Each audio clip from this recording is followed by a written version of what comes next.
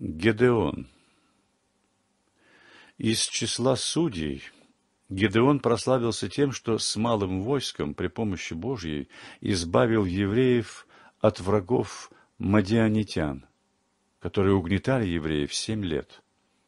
Евреи должны были скрываться от них в ущельях и укреплениях. Такое несчастье заставило евреев одуматься и обратиться к Богу. Тогда милосердный Господь послал им избавителя в лице Гедеона. Однажды Гедеон готовился бежать от врагов и выколачивал, молотил пшеницу, чтобы запастись хлебом на дорогу. В это время явился ему ангел Господень и повелел собрать войско против неприятеля. Гедеон, исполняя повеление Божье, начал собирать войско и собрал тридцать две тысячи воинов – После этого Гедеон обратился к Богу с просьбой дать ему знамение, доказательство, что действительно Господь через него спасет народ израильский. Гедеон молился так.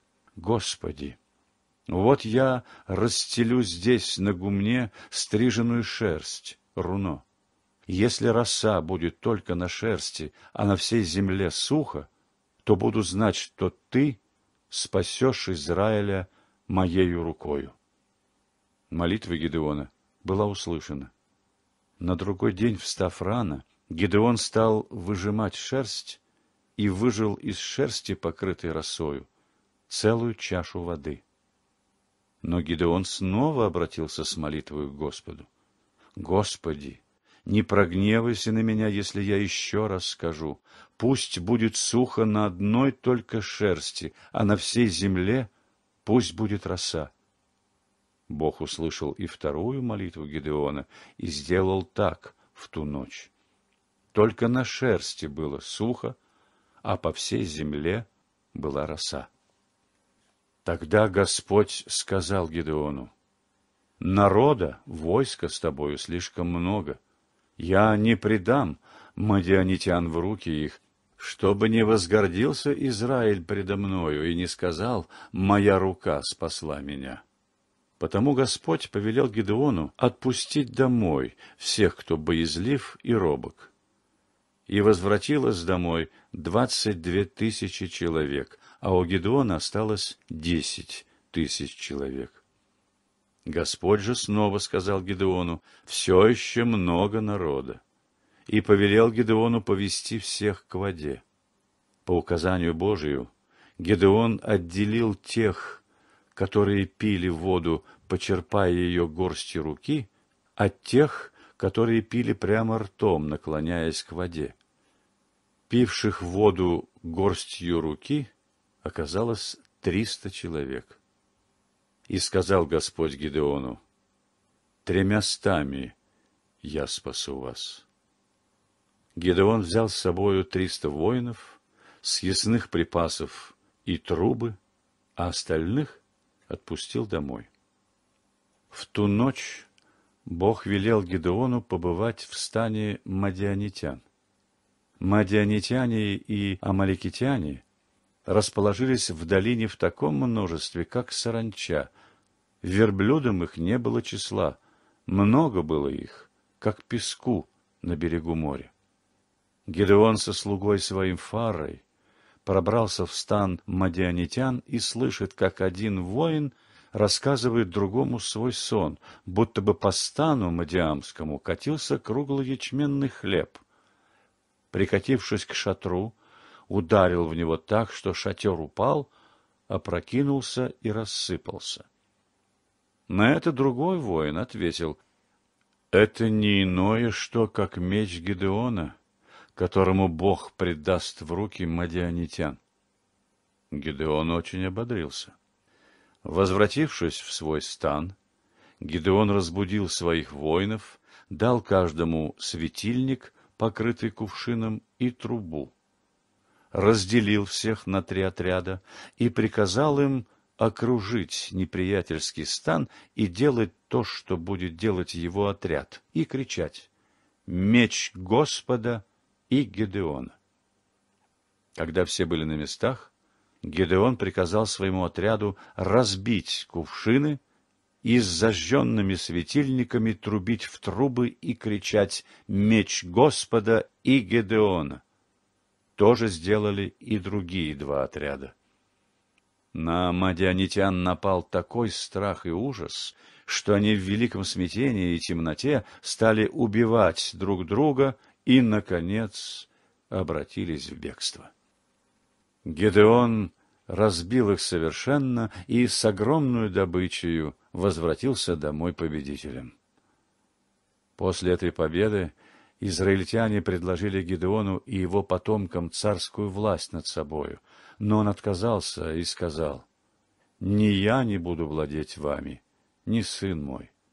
Господь да владеет вами». Самсон Судья Самсон знаменит был необычайную сверхъестественную силою.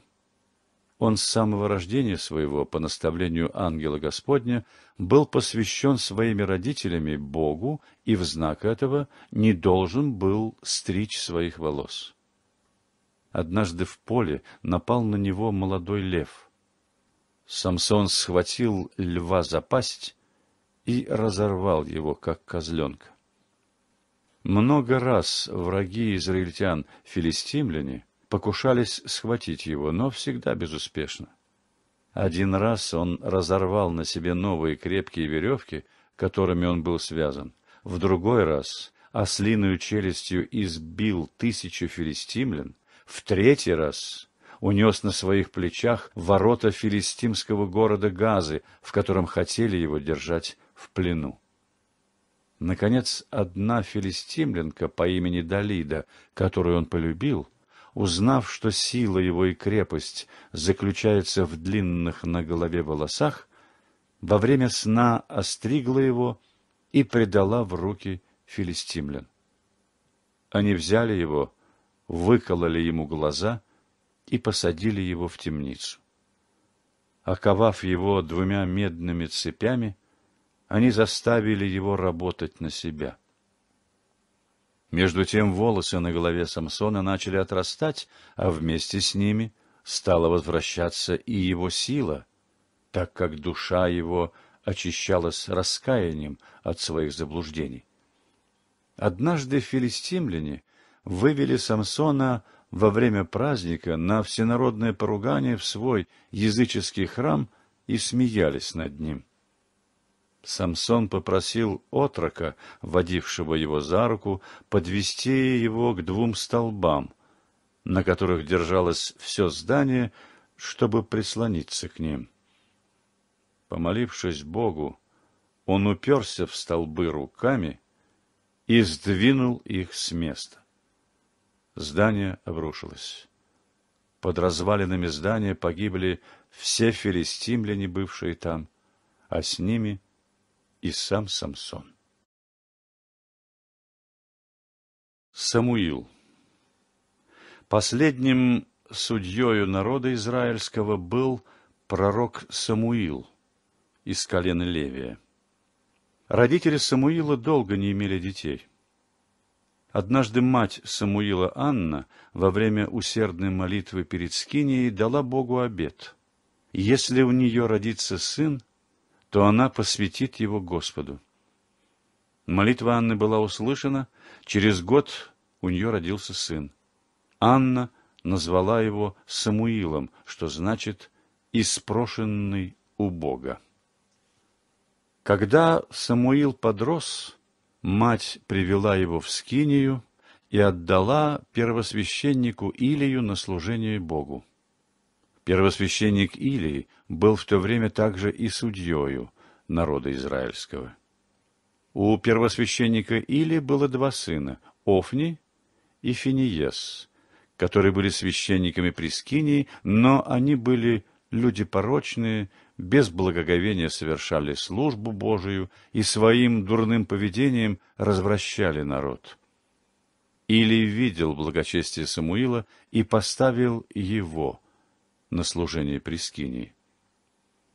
Самуил спал всегда внутри Скинии, недалеко от места, где спал Илий. Однажды Самуил сквозь сон услышал голос, который звал его «Самуил! Самуил!» Самуил тотчас побежал к Илию и сказал «Вот я. Ты звал меня?» Или ответил «Я не звал тебя. Пойди назад, ложись». Самуил пошел и лег, и снова голос позвал его «Самуил! Самуил!» И вторично Самуил пришел к Илию, но Илий снова ответил, что он не звал его. Когда же это повторилось в третий раз, тогда Илий понял, что отрока зовет Господь, и сказал ему, «Пойди назад и ложись. Если тебя еще позовет голос, ты скажи, Говори, Господи, ибо слышит раб Твой. Самуил лег и опять услышал голос, звавший его. Самуил ответил, как научил его Илий. Тогда Господь открыл Самуилу, что весь дом Илия погибнет за то, что Илий знал, как нечестиво поступают сыновья его, и не обуздывал их. На другой день Самуил передал Илию, что сказал ему Господь. Илий с покорностью принял предсказание.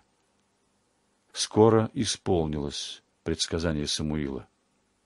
Филистимляне напали на войско израильское и разбили его. Тогда Илий, по просьбе старейшин израильских, послал в стан ковчег завета со своими сыновьями, священниками Офни и Финиесом. Но ковчег не помог израильтянам. Они снова были разбиты филистимлянами. Офни и Финиес были убиты, а ковчег был взят в плен. Так Господь показал людям, что святая вещь не поможет тому, кто не уважает святых заповедей Божьих. Или, узнавши, что ковчег взят филистимлянами, упал навзничь с седалища и умер. Ковчег же завета, будучи великой святыней Господней, недолго оставался у филистимлян. Сам Бог вразумил их тем, что их идол Дагон был разбит, у жителей того города появились мучительные наросты на теле, а мыши наполнили поля их. Устрашенные филистимляне поставили ковчег завета на новую колесницу, запрягли в нее двух молодых коров и отпустили из своей земли. Коровы, никем не управляемые, сами пошли в израильскую землю. Израильтяне с великой радостью встретили ковчег завета. После судьи израильского первосвященника Илия поставлен был судьею народа израильского пророк Самуил. Самуил управлял народом не только как судья, но и как пророк Божий. Он убедил евреев истребить всех языческих идолов, какие были у них, молиться Богу о прощении и поститься. Весь народ каялся и говорил, «Согрешили мы пред Господом». По молитве Самуила Господь избавил евреев от власти филистимлян. Самуил был строг и правосуден, и пользовался от всех большим уважением и любовью.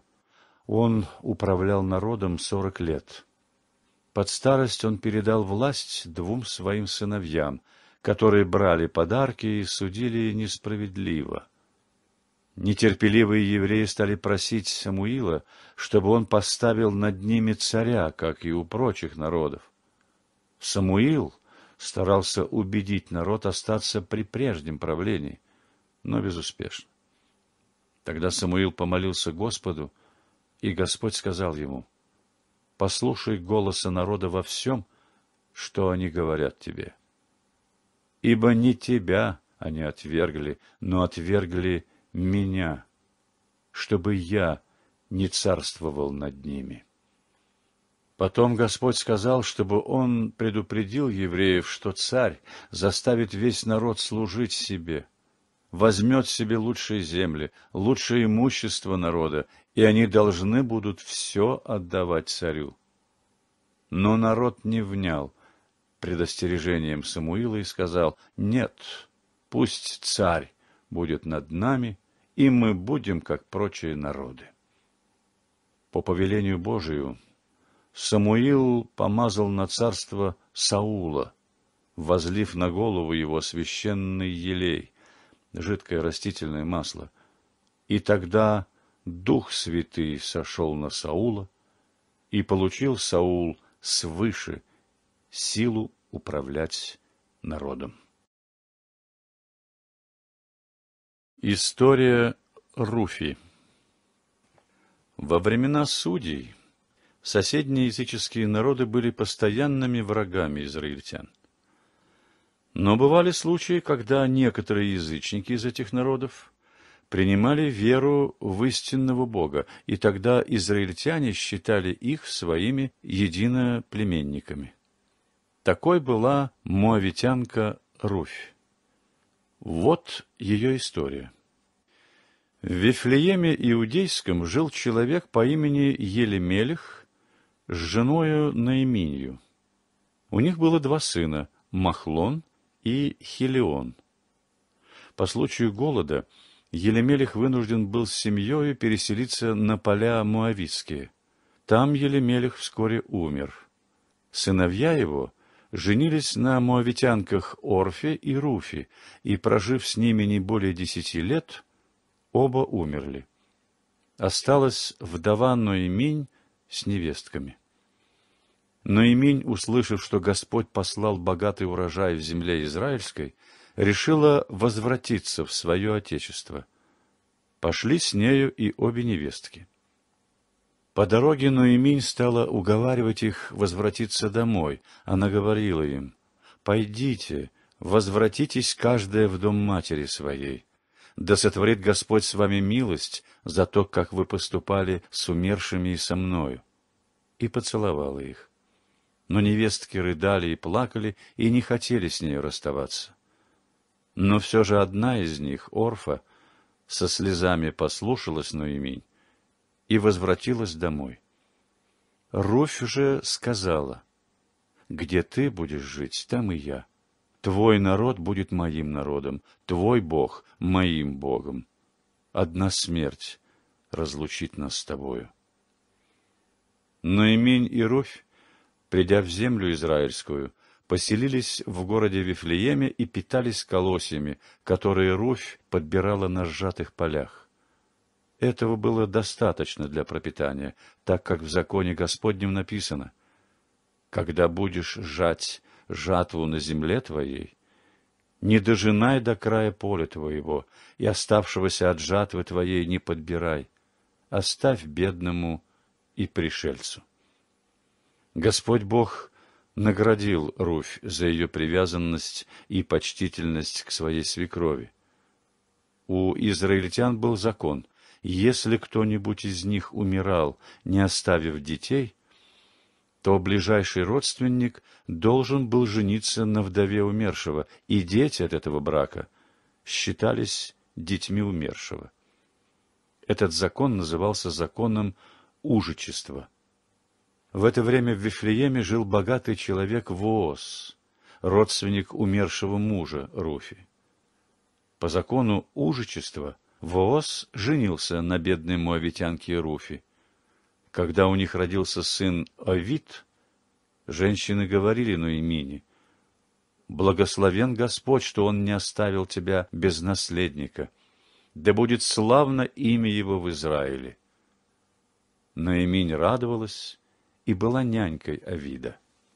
Имя же Авида действительно прославилось во Израиле, ибо он был отцом Иесея, отца царя Давида. Саул – первый царь еврейский. Саул был сыном знатного еврея по имени Киса из колена Вениаминова. Он был высокого роста – Среди народа он возвышался на целую голову, и не было никого из израильтян красивее его. Вскоре после помазания Саула на царство Самуил созвал народ, чтобы избрать царя. Бросили жребий. Жребий пал на Саула, и он был объявлен царем. Народ, восхищенный его ростом и красотою, в восторге воскликнул «Да живет царь!» Когда Саул был поставлен царем, Самуил сказал всему народу «Если будете бояться Господа и служить Ему, и слушать гласа Его, и не станете противиться повелениям Господа, и будете и вы, и царь ваш, который будет царствовать над вами, ходить вслед Господа Бога вашего, то рука Господа не будет против вас. А если не будете слушать гласа Господа и станете противиться повелениям Его, то рука Господа будет против вас. Саул первое время своего царствования поступал по воле Божией, показывая себя достойным своего избрания.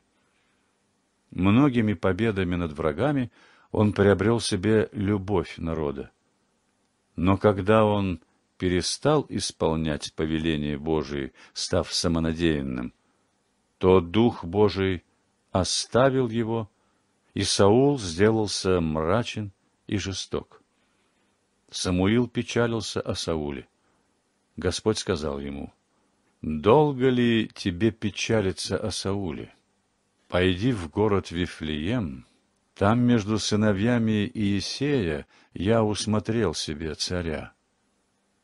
Самуил пошел в Вифлеем и по указанию Божию помазал на царство Давида, сына Иисеева, из колена Иудина.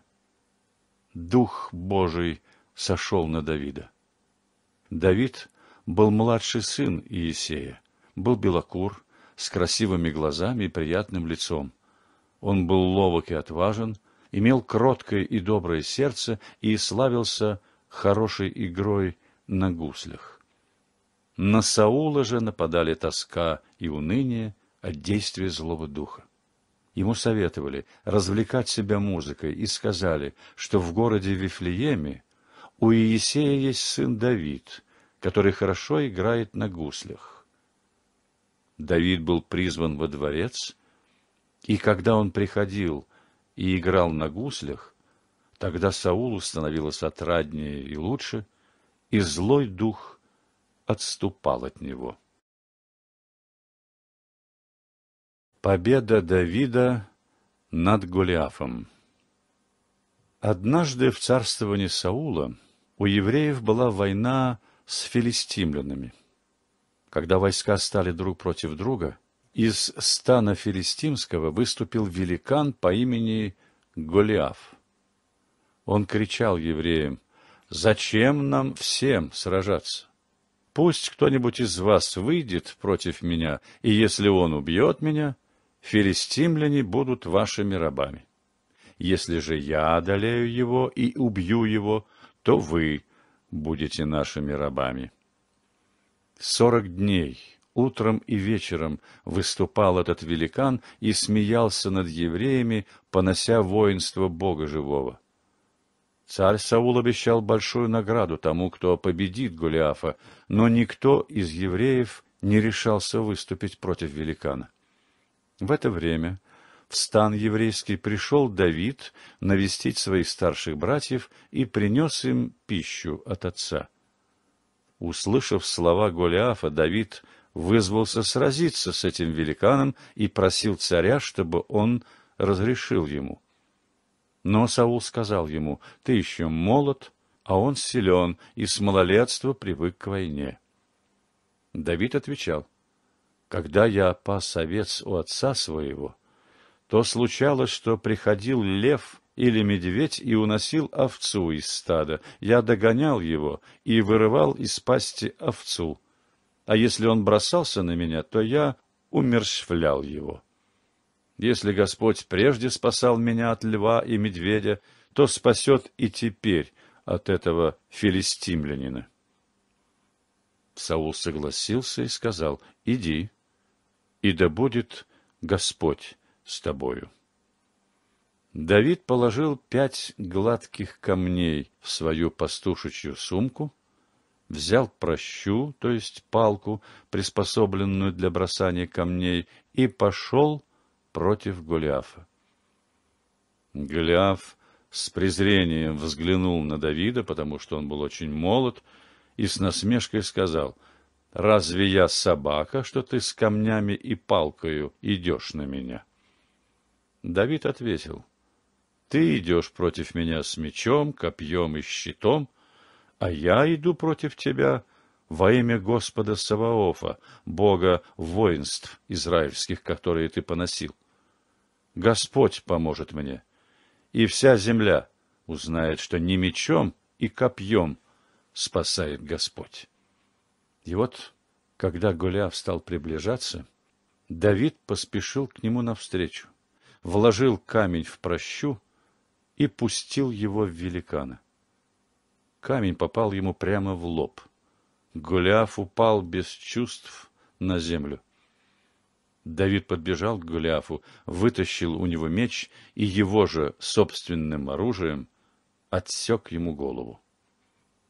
Увидев это, филистимляне, объятые ужасом, бросились в бегство, а израильтяне гнали их до самых городов их и многих убили. Саул сделал Давида военачальником. Потом он выдал за него замуж свою дочь. Когда Саул и Давид возвращались с победы, еврейские женщины выходили к ним навстречу с пением и плясками и восклицали «Саул победил тысячи, а Давид — десятки тысяч». Это царю Саулу было неприятно. Он стал завидовать славе Давидовой и задумал его убить. Давид удалился в пустыню и скрывался от Саула до самой его смерти.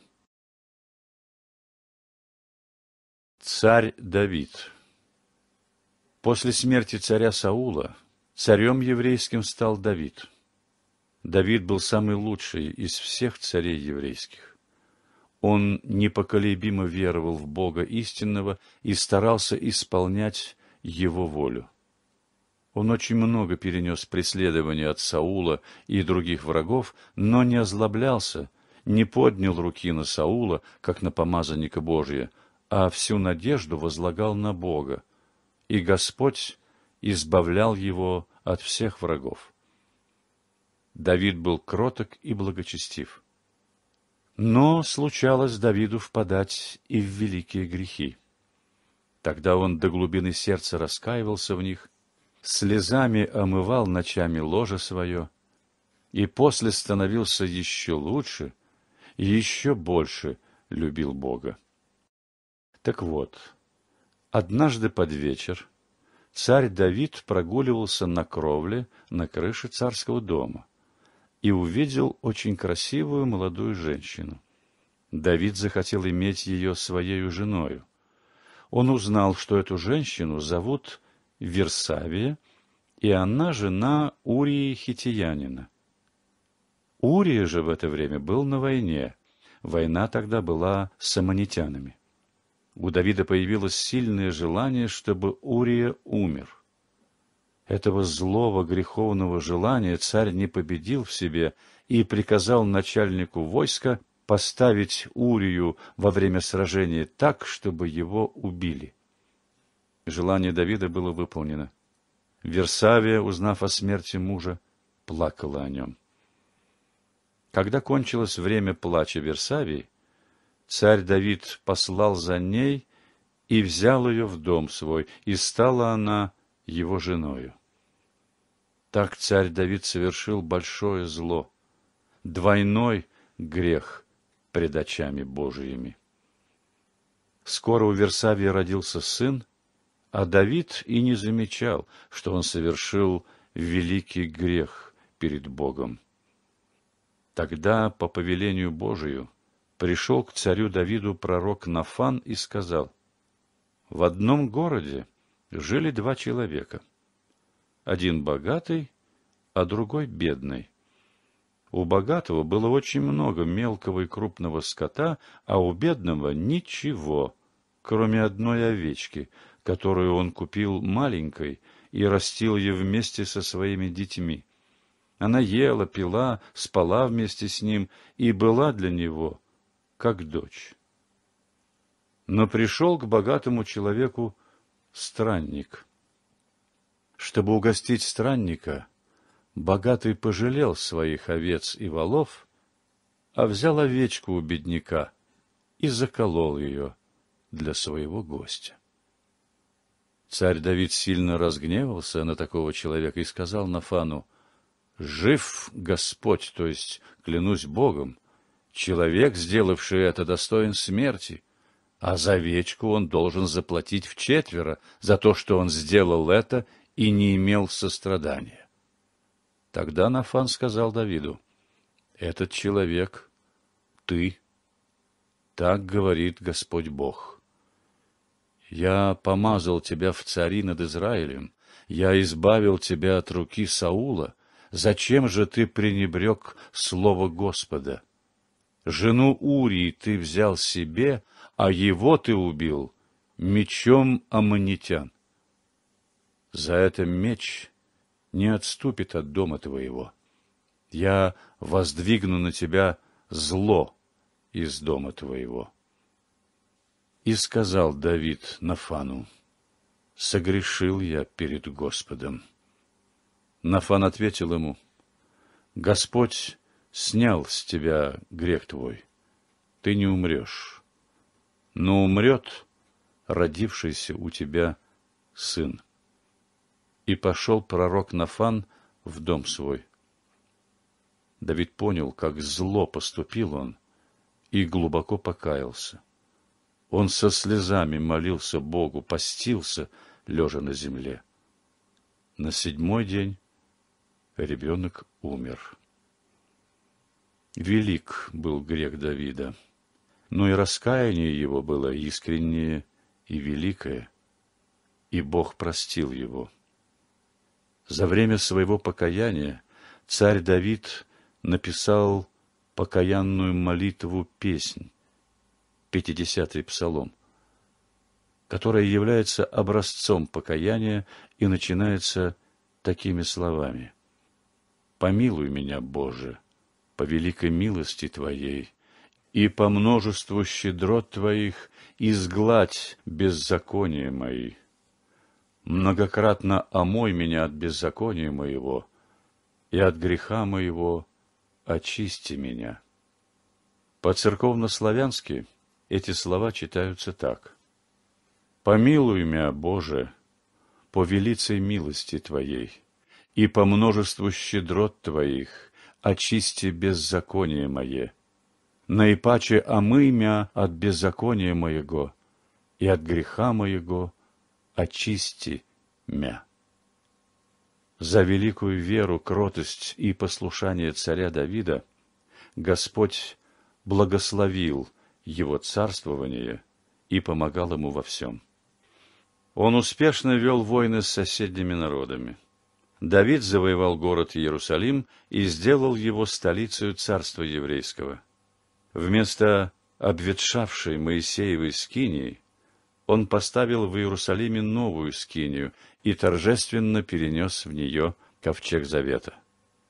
Давиду хотелось построить и постоянный храм, но Господь сказал, ты не построишь храма, потому что много воевал и пролил много крови. Построит его сын твой, который будет царем после тебя. Но в то же время Господь возвестил Давиду, «Престол твой устоит вовеки». Это значило, что от его потомства произойдет Спаситель мира Христос, который будет царствовать вовеки. И мы знаем, что Иисуса Христа часто называли Сыном Давидовым. Давид написал много священных песней или псалмов, которые он воспевал в молитве к Богу, играя на гуслях или других музыкальных инструментах. В этих песнях-молитвах Давид взывал к Богу, каялся в своих грехах пред Ним, воспевал величие Божие и предсказывал пришествия Христова и страдания, которые будет терпеть Христос за нас. Поэтому Святая Церковь называет царя Давида псалмопевцем и пророком. Псалмы Давидовы часто читаются и поются в церкви при богослужении. Священная книга, в которой находятся все эти псалмы или песни, называется псалтырью. Псалтырь – лучшая книга Ветхого Завета. Многие христианские молитвы составлены словами из псалмов этой книги. Давид царствовал сорок лет и умер в глубокой старости. Он еще при жизни своей назначил себе наследником сына своего Соломона. Первосвященник Садок и пророк Божий Нафан помазали его на царство.